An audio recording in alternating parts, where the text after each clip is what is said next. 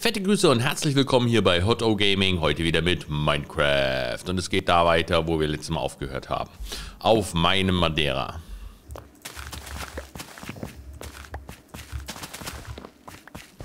Ah, das Feld wird neu angepflanzt. Die Tres Buntos sind da drüben auch wieder. Wer diesen Begriff nicht kennt, schaut euch Blood in, Blood out, Blood in, Blood out an. Sehr guter Film, sensationell. Ähm, das hier ist nicht gut. Also dieser Creeper da mitten in meinen Schafen gefällt mir gar nicht. Aber sensationell gelöst die Situation, ohne dass er mir meine Schafe oder vor allem hier mein Gehege wegsprengt. Das haben wir geschafft. Äh, mittlerweile habe ich auch gelernt, dass gar nicht so schlecht ist, ein bisschen Zucker zu haben. ich, ich spiele ja immer mit meinem Sohnemann und äh, der steht total drauf, wenn ich ihm Raketen baue. Also dieses Feuerwerk. Und dazu braucht man Unmengen Papier, habe ich festgestellt. Also für meine Verhältnisse Unmengen Papier. Das ist wahrscheinlich für die Hardcore-Zocker, die jahrelang Minecraft spielen, wahrscheinlich nicht so das Problem. Aber ich bin halt der, der keine Ahnung hat. Und dann immer jede Ressource, die er irgendwann braucht, suchen muss ohne Ende. So, jetzt schauen wir mal. Zucker für Papier. Kann ich es auch im Sand anbauen?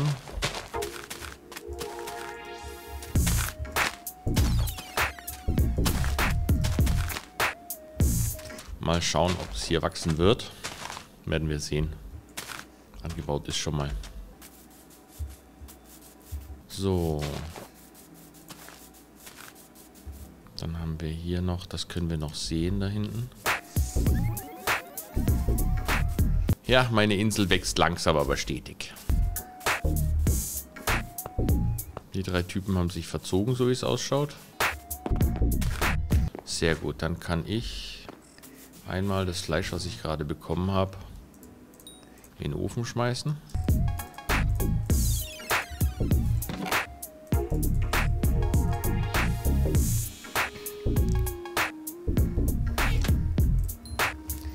Mal nach unten in die Höhle gucken.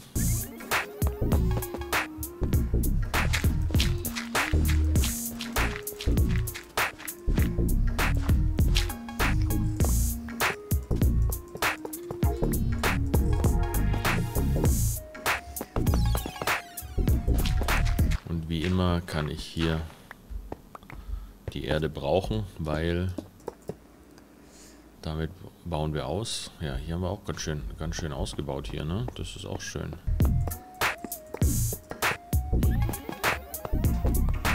Passt.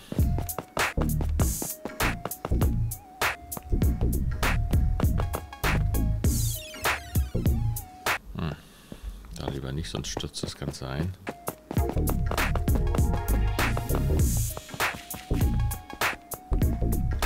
Das ist unser Gang, der irgendwann mal zu unserem Headquarter führen soll.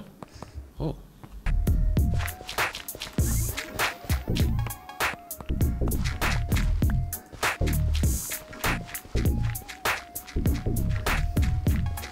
Jede Menge Erde.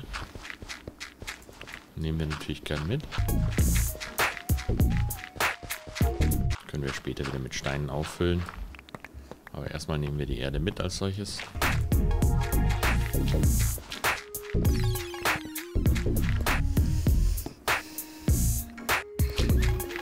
Ja, ich weiß, ich weiß, es ist ein sehr, sehr langfristiges Projekt. Meine kleine Insel, aber hey, wir haben Zeit. Auf der anderen Seite bin ich immer auf der Suche nach neuen Spielen. Momentan hätte ich gerne irgendwas. Ich bin am überlegen, ob ich mir Formel 1 holen soll und eventuell ein Lenkrad. Was haltet ihr von der Idee? Schreibt es in die Comments. Mir würde es auf jeden Fall gefallen. Also ich glaube, so Formel 1 fahren mit Lenkrad würde mir Spaß machen. Ich müsste mich komplett reinfuchsen. Ich habe diese Rennspiele seit Jahren nicht mehr gespielt und ich meine wirklich seit Jahren. Auf der Playstation, glaube ich, hatte ich irgendwann mal ein Rennspiel. Aber irgendwie hätte ich momentan Lust drauf. Überhaupt hätte ich momentan Lust auf ein Spiel, das mich auch wieder länger fasziniert. Satisfactory und Minecraft faszinieren mich beide. Das Einzige ist, äh, ich spiele es immer online. Das heißt also, was heißt online? Also immer so, dass ich auch aufnehme dabei.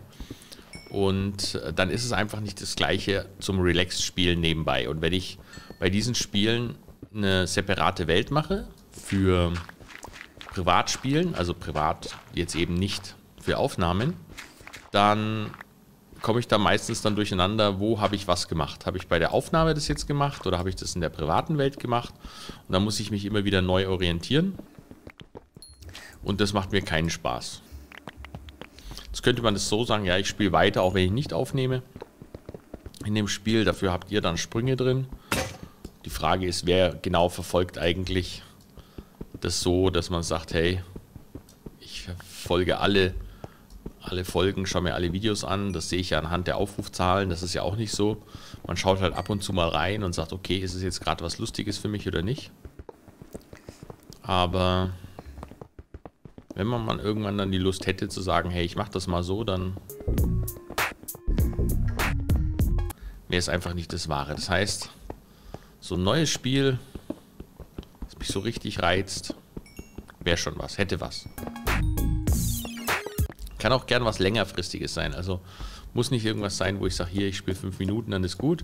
Ich weiß, dass der absolute Trend ist da momentan so, dass mh, hauptsächlich Spiele gespielt werden, wo man in fünf bis zehnminütigen Runden einfach spielt, weil die Aufmerksamkeitsspanne der Leute meistens nicht viel höher ist, ist nicht unbedingt mein Ding. Bin ich also jetzt nicht unbedingt der große Fan von. Und wenn ich das jetzt alles wieder zubaue, wozu habe ich es dann abgebaut? Ja, um an die Erde zu kommen, klar. Schaufel. Weil ich brauche die Erde oben auf meiner Insel, um mal eine Ebene zu machen. Aber schauen wir mal weiter im Gang.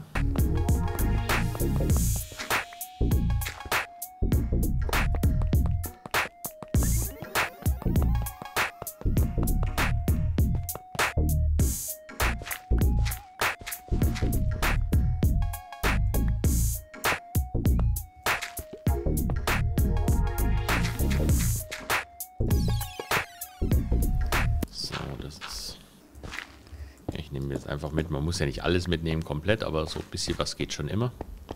So, und hier werden wir den Gang weiter vorantreiben. Jetzt machen wir jede Folge immer ein Stück.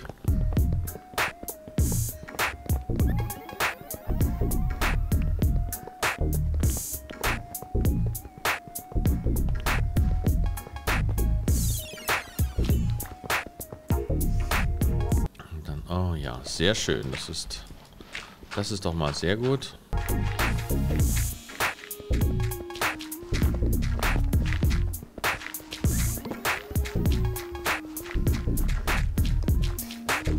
Alles mitnehmen, was da geht.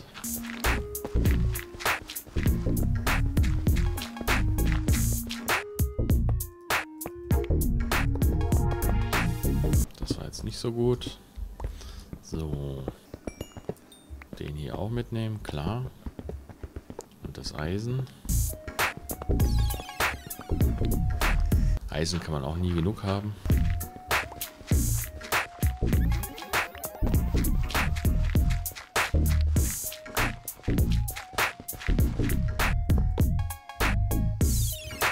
Und Erde sowieso nicht, wenn man auffüllen muss nachher.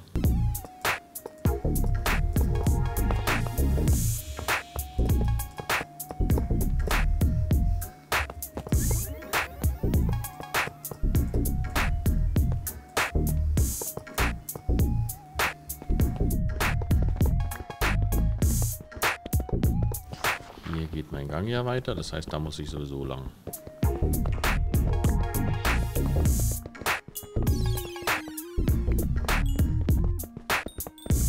Redstone nehmen wir natürlich auch mit.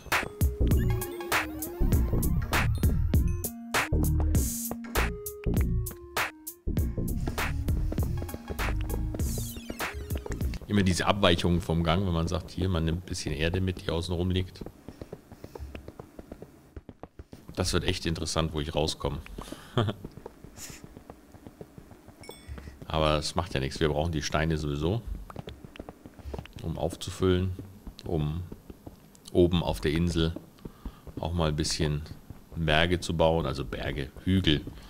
Berge ist übertrieben. Das, aber später sollen auf der Insel auch mal ein bisschen Hügel sein. Die Insel will ich auch erweitern.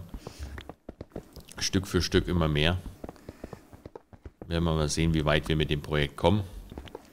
Ist auch alles eine Frage der Spielzeit. Wie viel Zeit steckt man da wirklich rein?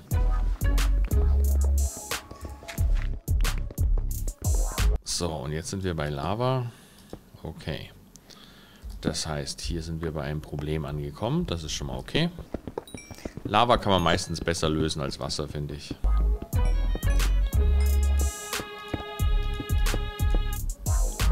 So, hier haben wir noch Gold. Und Lava. Oh. Gold und Lava. War mir das Gold lieber, oder?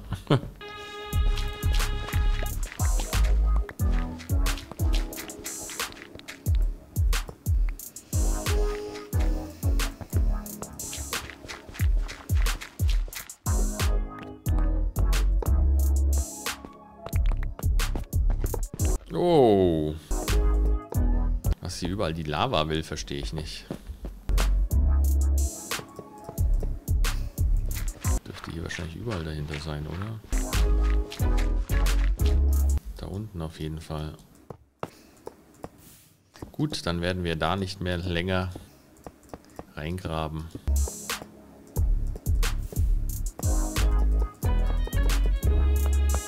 Machen wir wieder zu hier schön.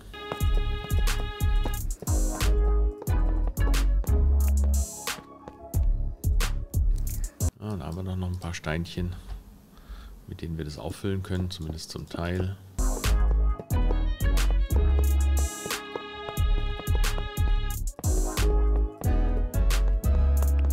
Ups, den wollte ich da nicht hinsetzen.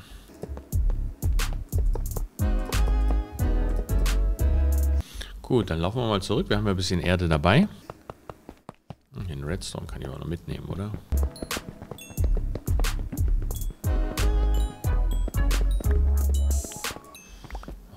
Aufgefüllt wird später. Das Auffüllen ist schon wieder so eine Bauamtssituation eigentlich. Man sagt, ja, ich hätte es ganz gern, dass es immer klar ist. Vor allem in diesem Gang, wo ich als Zugang nütze. Wenn ich dann sage, okay, ich versuche hier nachher mehr rauszuholen, dann ist das eine andere Geschichte. Aber jetzt erstmal für die Gänge, damit ich den Gang, den einen direkten Gang habe, zum Headquarter. Zumindest ist das ja der Plan, der langfristige.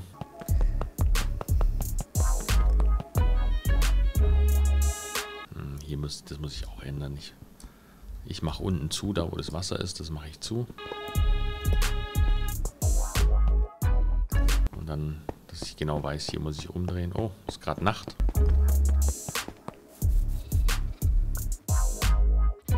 Okay, dann legen wir uns mal hin. So, und ein neuer Tag, ein neues Glück.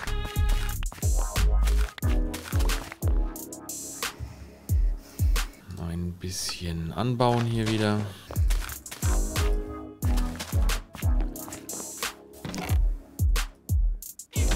Und wenn ich, wenn ich schon mal dabei bin, dann werde ich mich jetzt mal drum kümmern, hier die Erde ein bisschen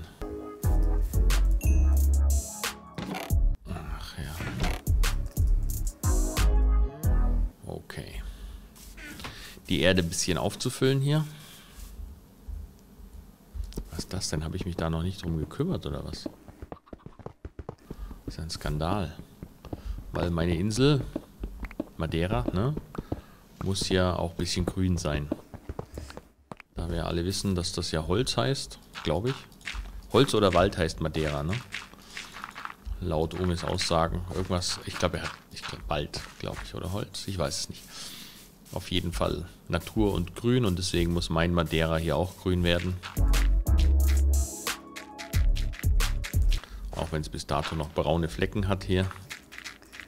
Die wachsen aber dann mit der Zeit zu. Wichtig ist, dass wir irgendwann zumindest eine, eine Ebene haben. Das ist so das erste Ziel. Ganze Insel auf einer Ebene haben und danach können wir ja weiter schauen. Also tatsächlich respawnen hier die Tiere auf der Insel. Was nicht schlecht ist, was ein Quell für Essen sein kann. Oder auch ist.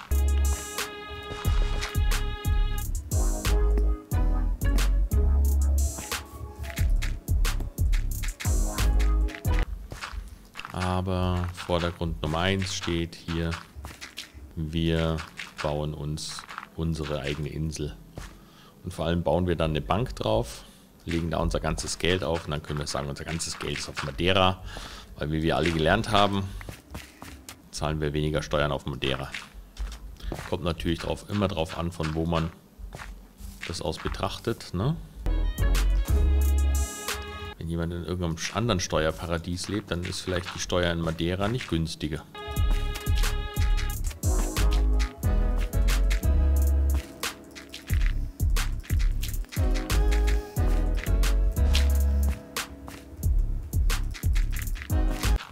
Man, so ein Gang in die Höhle bringt doch einiges an Erde hervor. Ganz schön erschreckend, wie oft ich mich verbaue einfach. Ich könnte es jetzt natürlich darauf schieben, das ist alles die Schuld dessen, dass ich das alles so schnell mache, aber ich mache es ja nicht wirklich schnell. Sondern ich passe einfach nicht genug auf.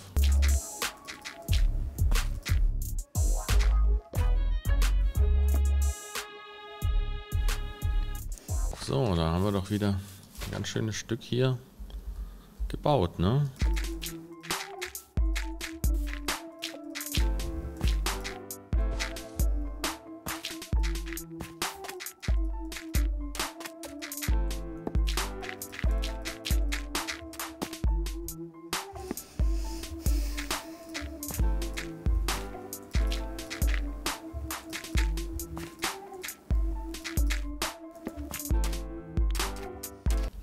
Verschwenden, weil ich muss ja alles hier irgendwie selber wieder herbringen. So. Das heißt, die ganzen Ressourcen, die ich verbaue, muss ich ja irgendwie zumindest an die Oberfläche der Insel bringen. Es muss ja nicht alles auf die Insel gebracht werden, Gott sei Dank, weil ich ja viel aus dem Boden holen kann und viel anpflanzen und so weiter. Aber generell, wer bauen will, muss, ne? Materialien haben.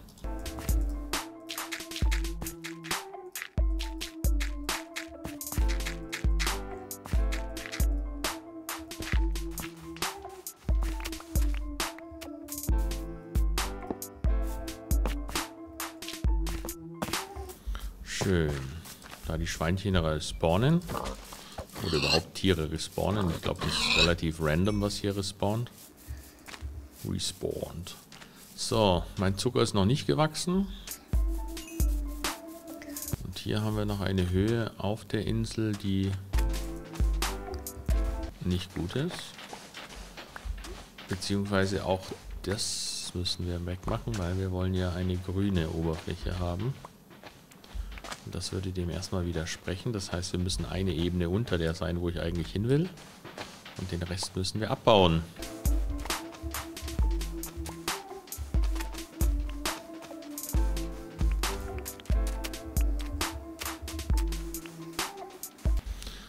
Kann man auch sagen, wir füllen das dann aber auf damit. Das heißt, alles, was hier so außen rum ist, kann ich dann ruhig mit Sand auffüllen. Ob das stabil genug sein wird, werden wir sehen, aber wenn ich so an Dubai denke, man kann auch auf Sand bauen. wenn man es richtig macht. Mal sehen, wie lange das da hält in Dubai. Diese Palmeninseln und was die da alles aufgeschüttet haben.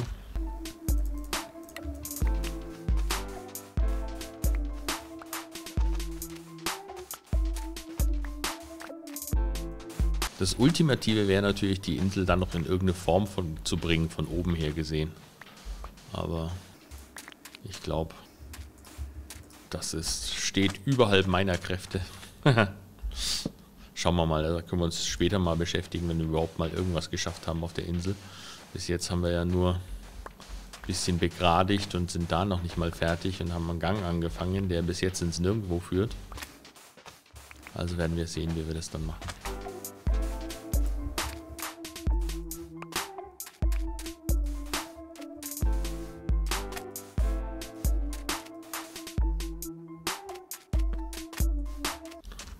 Ist, hier kann man wirklich viel versenken einfach, ne?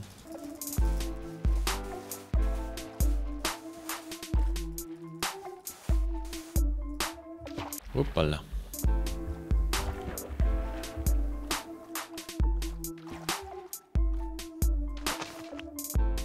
Gute an der steilen Küste ist, es können nicht so einfach irgendwelche Eindringlinge rein. Knoten in der Zunge. Es können nicht so viele Eindringlinge rein, aber man hat natürlich auch dann wieder selber ein Problem, wenn man runterfällt, darauf zu kommen.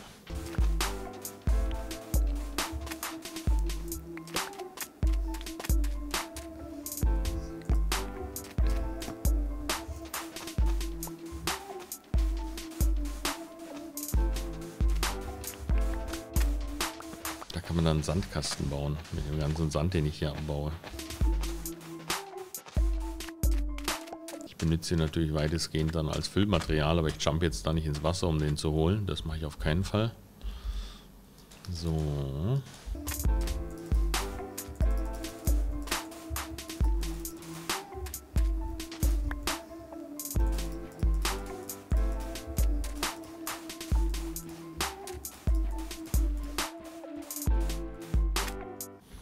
Okay. Hier wieder ein Stück weiter.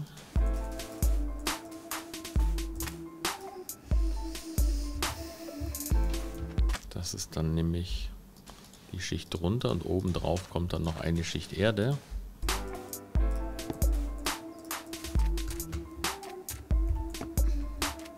So wie es ausschaut, neigt sich der Tag schon wieder dem Ende zu. Ne?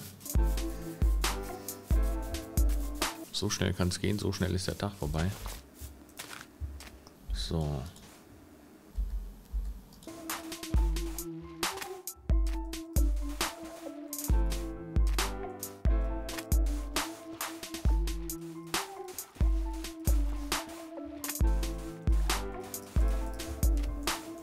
Ja, unterm Strich ist dann doch relativ hoch, ne, das Ganze. Vom Wasser aus gesehen.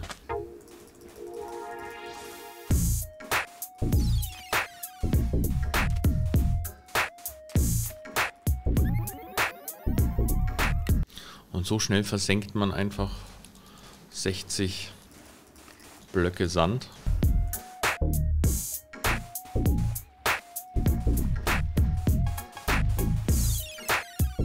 Der ist zu viel. Das geht einfach echt schnell. Ah, da ist schon wieder ein Schwein respawnt. Respawnen die in der Nacht, ja. Nehmen wir mit, das Fleisch können wir brauchen.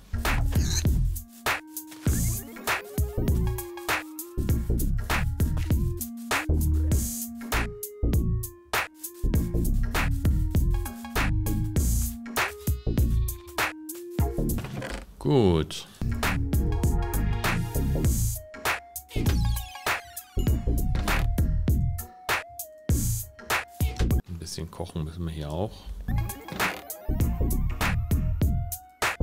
Hier haben wir nochmal Erde für nächstes Mal zum weiter aufbauen. Aber ich denke, das war's für heute. Legen wir uns noch kurz schlafen, damit wir beim nächsten Mal mit einem neuen Tag beginnen. Das ist immer gut. Neuer Tag, neues Glück.